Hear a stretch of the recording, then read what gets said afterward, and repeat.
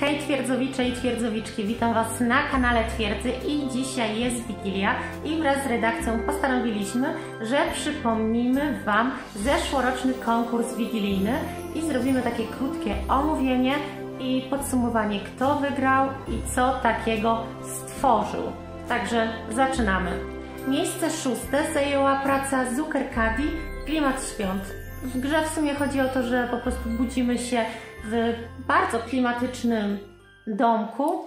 No i w sumie jest to taka interaktywna mapa, gdzie y, w sumie jest Mikołaj, jest choinka i to tyle, ale nie ma co się dziwić, ponieważ praca y, miała zajmować maksymalnie 10 minut i nie więcej niż 3 mapy, także jest to krótka, taka świąteczna gierka.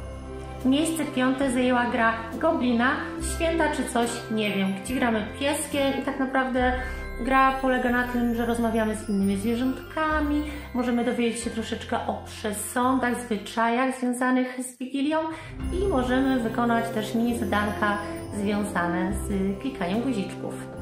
Miejsce czwarte zajęła prastara zmarzlina wykonana przez Tatalusa. Yy, gra jest dosyć krótka, ale jest dosyć klimatyczna. Bardzo podobały mi się drzewa yy, w tej grze. No i w sumie nie wiem co o niej powiedzieć, ale jeżeli chodzi o klimat, to stanowczo wygrywa. Miejsce trzecie, Kroniki 2 PRL Święta autorstwa KB. Bardzo fajna gierka, zbieramy w niej grzybki, bardzo fajne wykonanie w takim właśnie perelowskim klimacie. Są plakaty, do których można podejść, jest bardzo ładna panorama miasta i ogólnie jest troszeczkę smaczku, więc yy, przyjemna i widać, że było przy niej włożone trochę pracy. Jak na taki krótki czas, no to super. I również już do trzeciego miejsca była yy, nagroda, czyli dyplom z dedykacją, yy, wysłany na maila, który można było sobie powiesić i ranga na Discordzie. Miejsce drugie należy do Chrisu Roku, konkurs świąteczny 2020. W tę grę grało mi się najprzyjemniej. Jest to gra, w której musimy zbierać prezenty, zanim nas zasypie śnieg. I podobnie jak w przypadku y, trzeciego miejsca, tu również był dyplom i ranga uczestnika konkursu na kanale Discord.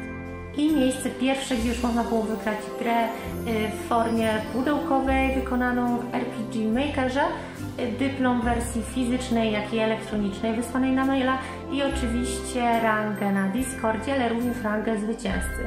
I tutaj miejsce pierwsze powędrowało do Władcy Kasztanów za Wiedźma Helga ratuje święta. I jest to bardzo, bardzo fajna gra, gdzie jest dużo humoru, y, czarowania. Y, w grze chodzi o to, żeby po prostu ozdobić naszą choinkę poprzez rozmowę z różnymi mieszkańcami miasteczka i szukaniem y, właśnie różnych obiektów do zaczarowania. Y, mam nadzieję, że odcineczek taki przypominający zeszłoroczny konkurs Wam się spodobał. Dajcie znać oczywiście, co myślicie w komentarzu, subskrybujcie nasz kanał, lajkujcie filmik i miło było do Was wrócić. Także do zobaczenia i cześć, wesołych świąt!